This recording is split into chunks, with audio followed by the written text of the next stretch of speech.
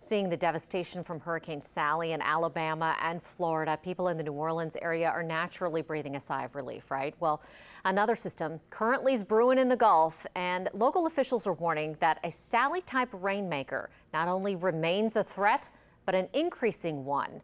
Mike Perlstein has the story.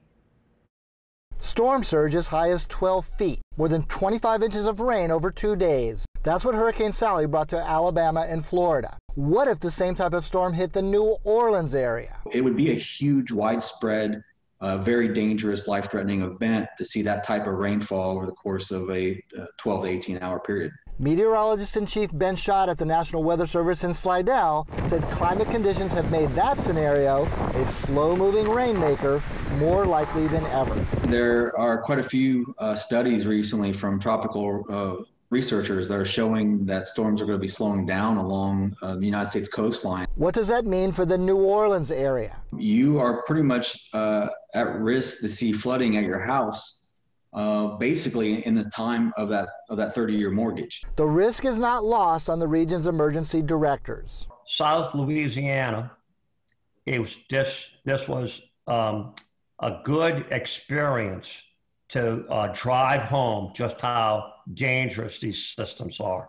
Jefferson Parish Emergency Manager Director Joe Valiente said he had 80 rescue boats on standby ahead of Sally. You have to be prepared for uh, search and rescue missions after the wind subside. That's something that is definitely, you know, we have to adapt for. We have to adjust our timelines. We have to adjust, adjust our plans. If you do decide to shelter in place, you have to have a robust uh, post-storm evacuation plan. New Orleans Emergency Director Collin Arnold said he hopes Sally reminds people of what could easily happen here. This could be for a hurricane, and this could be for an afternoon rainstorm, Mike, honestly. Now, where flooding and rescues might occur depends on each individual storm. And in New Orleans, it could depend on aging drainage equipment.